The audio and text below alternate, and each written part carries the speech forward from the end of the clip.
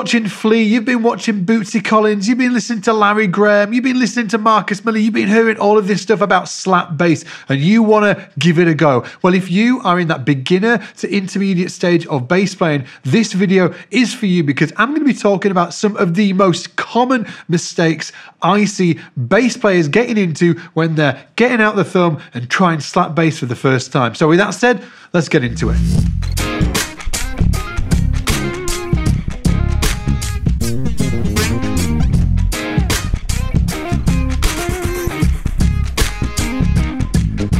Now, the first thing I want to mention when it comes to playing slap bass, it's actually the instrument itself. Because if your instrument is a little bit out of whack, it's not going to sound great and you're not going to be able to get that right vibe with it, okay?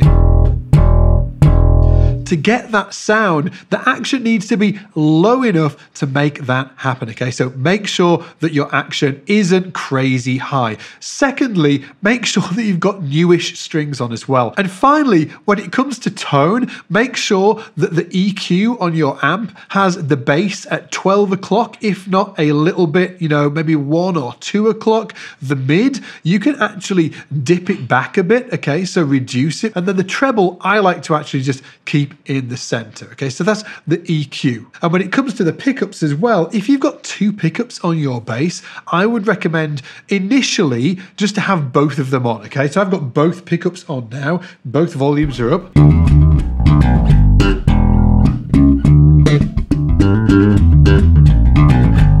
Gives me a cool slap sound. If I take the bridge pickup all the way off, it's going to give me.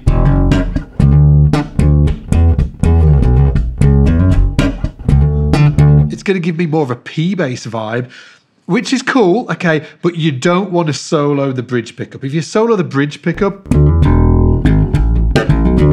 for me, it just sounds like way too brittle for slap. So I would recommend both pickups on if you've got two pickups, or if you've got a P bass, you've only got one pickup, so hey ho. But if you've also got two pickups, you can experiment with that front pickup soloed as well. Now, the first big mistake I see many players getting tripped up on when it comes to the physical side of slap bass is actually using too much thumb movement and almost like doing this sort of like weird push thing. Most of the movement should be coming from the arm rotation. So I like to imagine grabbing a doorknob and actually rotating my arm. Let me show you.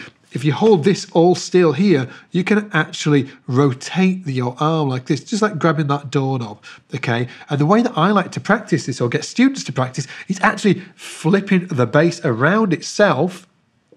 Okay. And just practicing doing this.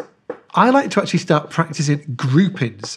So you could do a grouping of two that sound going to sound like this: one, two, one, two, one, two, one, two, and I'm accenting the ones. Remember to keep it super relaxed. Your entire arm should be relaxed. Now let's try try groupings of three. Now, the next big mistake I see people making is with incorrect slap technique, okay? And it's going to depend, your slap technique will depend on whether you use down thumb or up thumb or parallel thumb, right? Okay, so if you are using down thumb, you are going to use the bounce. The bounce is where it's very linked to what we were talking about before with the rotation of the arm, but the thumb has got to bounce off. Okay?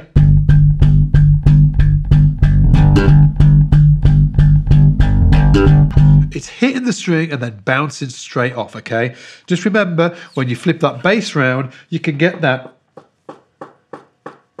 it is bouncing off. So make sure that you're not burying it. Now, the other mistake I see with slap technique is actually to do with the up thumb, okay? So you're not playing down thumb, you're playing up thumb. Now, when you do that, it's really important that you play through the string, through the string. It's not the same as the that you know that downward thumb bounce okay? It's not that you're playing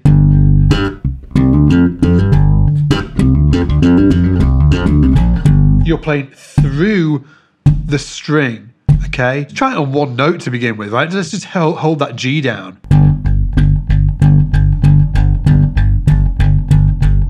and you're actually hitting the string with a slightly different area of the thumb as well when i'm doing the down thumb like this, I'm actually hitting the string with that bony part of the knuckle, the thumb knuckle there. When I'm going down like this, it's actually more of the, the side of the tip of the thumb almost as it goes through.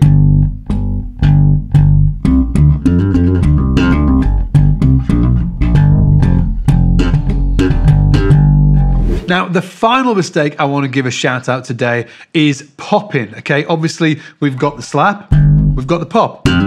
Okay, but when you see a lot of people starting out with the pop, what they do is they're actually pulling it. They think it's like a movement that's coming from the finger itself, and it's not. It's kind of very similar to when we were talking about earlier about that thumb push, okay? There's actually very little, you know, thumb movement when you're playing slap bass. Same thing with the pop. You are not pulling up with the finger, you're rotating the arm away. So if we go all the way back to here, same thing, okay? You're slapping that thumb, but just by getting that rotation, the hand is like a seesaw, right? We've got one dude on this side, we've got one dude on this side, and we're kind of rotating that seesaw. So as we hold the instrument here, we slap a note. As we come to pop a note, let's say we're popping this C here on the on the G string, okay? I'm not pulling so much as I'm actually rotating the hand away, and then the rotation then just pops that finger out, okay? So we could go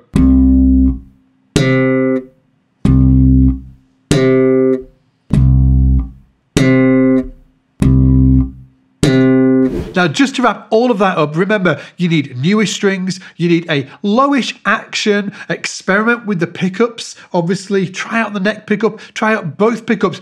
Don't do the, the, the single bridge pickup thing. For me, doesn't sound too cool. When it comes to the physical side of playing, make sure you're not doing the pushy thumb thing and you're actually rotating the arm and use those exercises that I showed you. Make sure that you've got the correct slapping technique. If you're doing down thumb, you've got the bounce. If you're doing up thumb, you're playing through the string. And then finally, make sure that you are not pulling those pops and instead you are rotating through the pop, just like a and the rotation makes that string pop.